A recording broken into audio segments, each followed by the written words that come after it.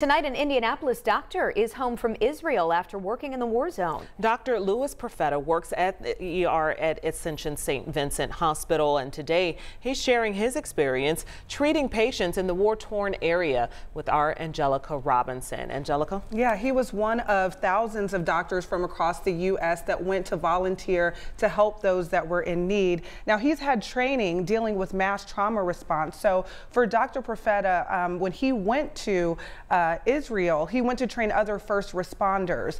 Um, he's now back in Indi Indianapolis after spending about three weeks in the Middle East. And although Dr. Profeta has been practicing for more than 30 years, decades of experience could not prepare him for what he experienced in Israel your phone would go off and the alarms would sound and you'd see rockets coming in from Hezbollah and then the Iron Dome counter defense mechanisms blow these rockets out of the sky right above our heads. I mean, it'd be hard to sleep at night because you had outgoing munitions from the Israelis, you had incoming rockets from Hezbollah. Unfortunately, none of them impacted where we were.